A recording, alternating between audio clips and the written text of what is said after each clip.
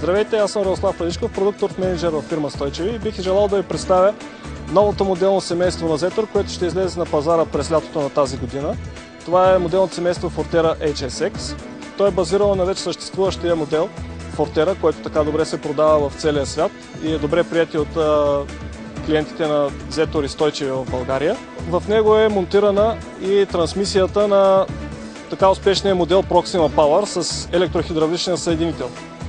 Новото моделно семейство, когато излезе на пазара, ще бъде с обновени двигатели, които ще отговарят на най-строгите екологични изисквания Tier 3B с а, изгаряне на частиците в ауспуха.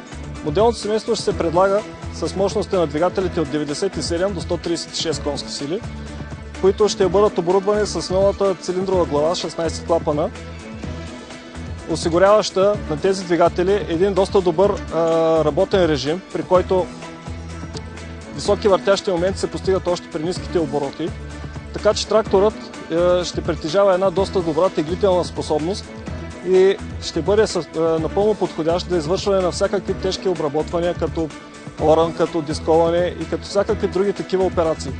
Тракторът е и с обновена скоростна котия, която вече е с 5 степен на синхронизирани предавки, като с съчетание с мултипликатор на въртящия момент, общия брой предавки в трансмисията на трактора са 30 предни и 30 задни.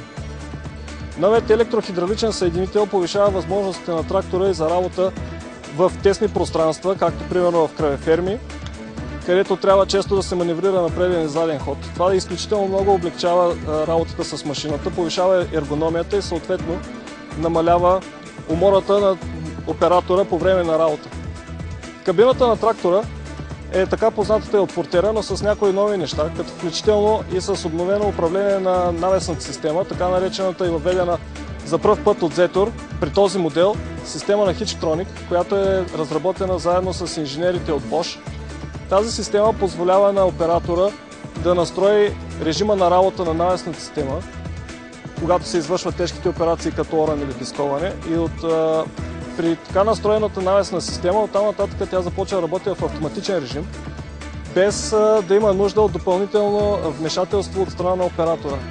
Това от своя страна води до значителни економии на гориво, както и съкръщаване на времето за извършване на съответната операция.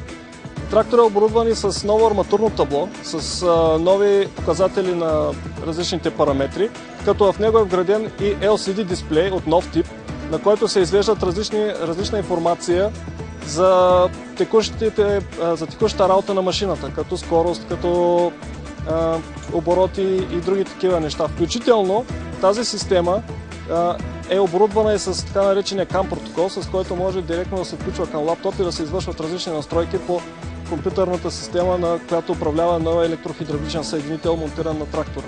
В този модел са обединени всички инженерни постижения на фирмата Zetor. Най-новите мотори са 16 клапанови цилиндрови глави, най-новата трансмисия, подобрена ергономия вътре в кабината и ред други новости, които инженерите на компанията са подготвили за своите клиенти. Този трактор ще бъде един добър помощник на всеки земеделски стопанин в неговото стопанство.